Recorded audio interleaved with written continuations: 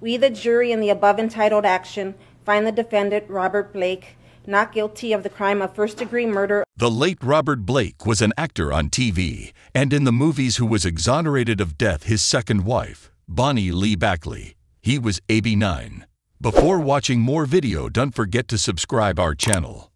On Thursday, Blake's niece Noreen Austin confirmed the news of his death, citing heart illness as the cause of death. They released a statement to news saying he was at home in Los Angeles with his loved ones.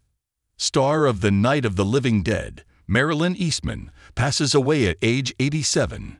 The New Jersey native got his start in show business at the tender age of five, when he starred in one of the Our Gang comedy short films. First debuting on the TV series The Adventures of Wild Bill Hickok, he went on to star in the Academy Award nominated picture In Cold Blood in 1967. The film paved the way for his breakout performance as New York City detective Tony Baretta in the 1970s TV series Baretta. His first Emmy nomination came that year for his role as the show's outstanding lead actor in a drama series, and the show ran for four seasons from 1975 through 1978.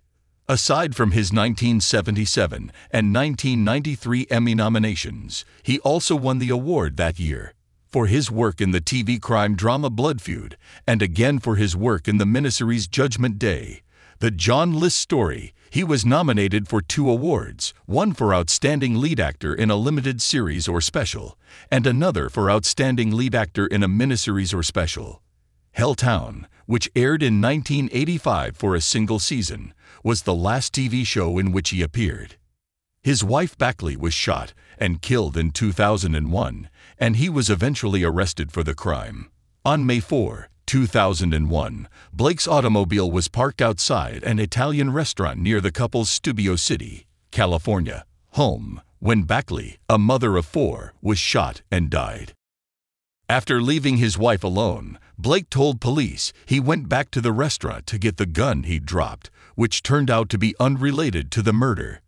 Cops caught up with him after nearly a year. Blake's defense team argued that the claims of two retired stuntmen who told authorities that Blake had tried to hire them as hit men were unreliable and were used as evidence against him by prosecutors.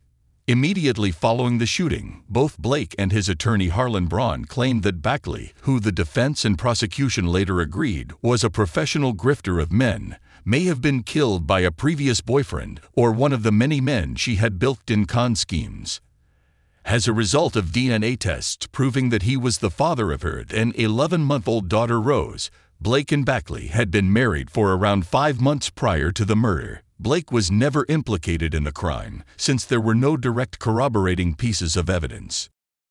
The jury deliberated for eight days before declaring Blake not guilty. Afterwards, Bakley's family filed a civil claim against Blake and won a $15 million judgment when a civil jury held Blake liable for Bakley's death. The amount was reduced by half by an appeals court, and the matter was resolved for an unknown sum. After many years, Blake still insisted he was innocent of the murder. Rose Lenore, Blake's daughter, opened up to People in 2019 about her difficult childhood after her mother passed away. Initially, she was unable to pinpoint the exact location of her mother's grave. The fact that I didn't go ahead and look it up is telling. Honestly, I don't think I was prepared for it. And then when I was 18, I was all, I'm ready. It's on my mind to pay her a visit. I've had my share of sadness in life, she continued. Nonetheless, I have faith that everything will work out fine in the end.